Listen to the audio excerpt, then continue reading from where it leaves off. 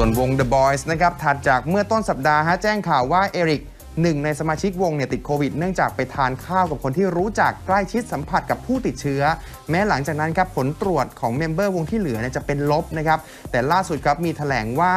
ยองฮุน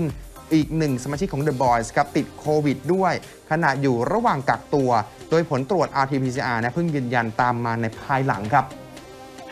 ไม่เพียงแค่ The Boys นะครับ เมื่อต้นสัปดาห์ครับ จุนฮเวน้องเล็กวงไอคอน เป็นสมาชิกคนที่ 4 ของวงครับที่ติดโควิด นอกจากนี้นะครับ โยชินะฮะจากวง